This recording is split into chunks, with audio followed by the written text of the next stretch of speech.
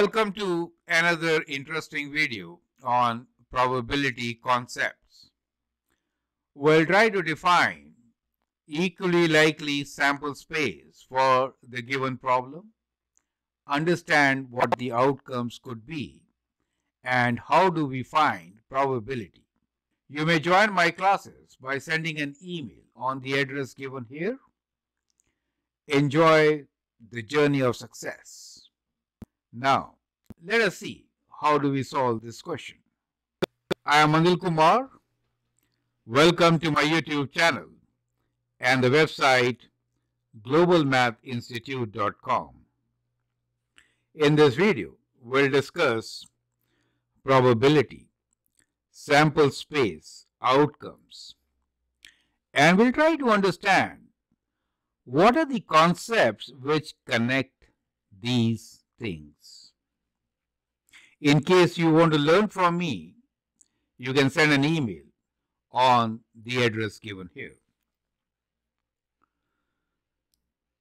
The basic concepts are the set of all possible outcomes is sample space, normally written with capital S. An event is a subset of sample space for favorable outcomes. Probability of an event is ratio of favorable outcomes to number of items in the sample space. We could have experimental or theoretical probabilities. Here is a question which are divided into five parts, basically to understand the concepts. Question 1a. Find the set of all possible outcomes. When we say all possible outcomes, it means sample space, S, in the family with exactly three children. Let B and G be boy and girl respectively.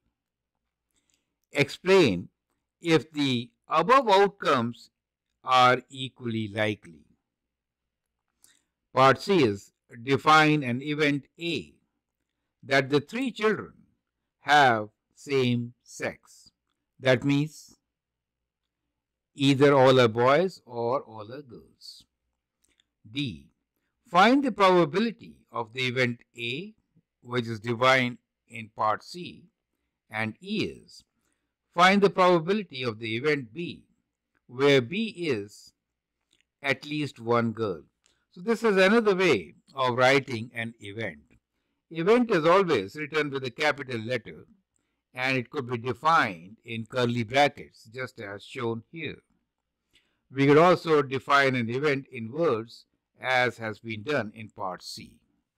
So I think you got the concepts. You can pause the video now and answer the question. Let's begin with part A. So in part A, we really want to find what are the outcomes which form the sample space? We are looking for exactly three children, right? So we could make a tree diagram or even write the direct answer. Let me make a tree diagram so that it becomes simpler for all of us to understand. So, so initially you could have a boy or a girl, right? So let's say we have a boy or a girl. Now, second time, you may again have a boy or a girl, right? And then the third time, it could be a boy or a girl, right? So, 50-50 chances of having a boy or a girl. They are equally likely events. So if you go through the first part, we have what? We have boy, boy, boy, right? So we have three boys. Then we have boy, boy, girl. And then BGB. And then we have BGG. Boy, girl, girl. And then go through the second part, which is girl first. Boy, boy. Girl, boy, girl. girl, girl, boy, and all three girls. Do you see that? So that is how you get your sample space. You can write this as sample space is the set of outcomes is basically all boys, BBG, BGB, and then continue. BGG, GBB, and then we have GBG, GGB, and GGG. Correct? So in all, we have 1, 2, 3, 4, 5, 6, 7, 8.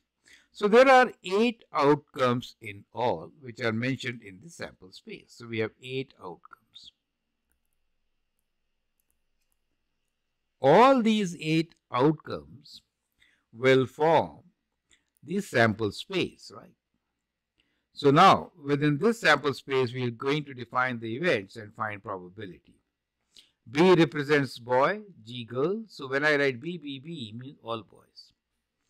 Now part B is explain if the above outcomes e are equally likely.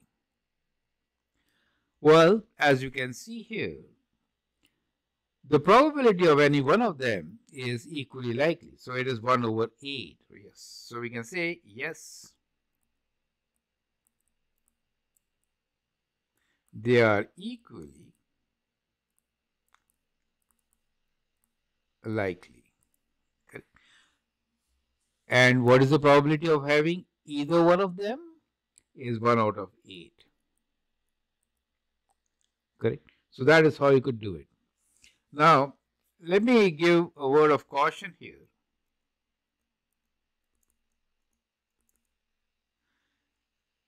Sometimes you could say the three children outcomes could be all boys, right?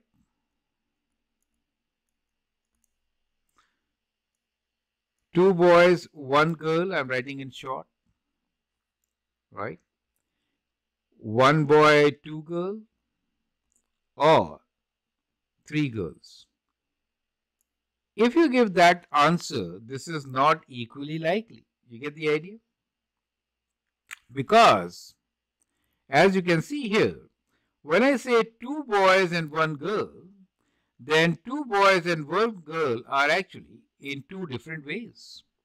So the likelihood of two boys and one girl is more than all boys. So that is not equally likely. You get the idea. This one is not equally likely.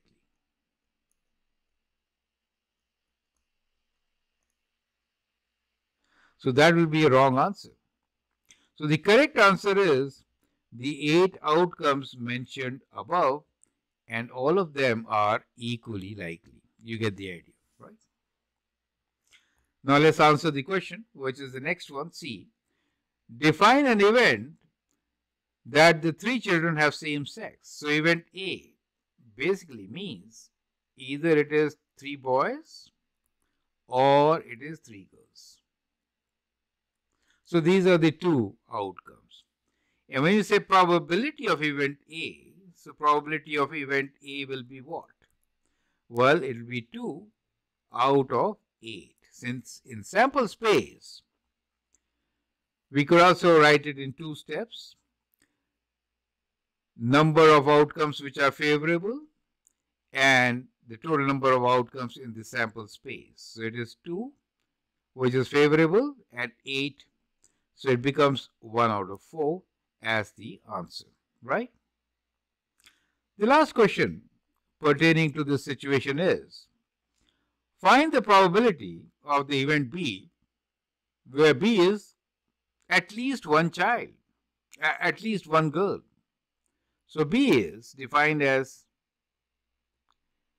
at least one girl. Now, this could be done in two different ways. You know the probability of having a girl, not a girl, all the probability combined is 1, right? So we could use complement of the probability. That we could do, right? So at least one girl we have seen in our examples, the probability for B could be written as out of 8, let's go through them. Out of 8, we have girls in each except the first one, right? So this is the only exception, all three boys, right? So at least one girl will be 7 out of 8. We will also do this probability as 1 minus the probability of all boys, which is 1 minus 1 out of 8. And that also gives you the same answer as 7 over 8. Is that clear to you? So at least try to understand the term. It really means that except for all three boys, all these seven belong to that category. So those are seven favorable outcomes for at least a girl. So I hope with this you understand the concepts. That is, what are possible outcomes for a given event? How do we define these outcomes so that they are equally likely? So in case you define the outcome as these four, then it is going to be incorrect because they are not equally likely. You get the idea. That is the correct answer. Eight outcomes which are all equally likely. So I hope you understand and appreciate our approach. In case you want to learn from me, you can always send an email on the given address. Thanks for your time and all the best.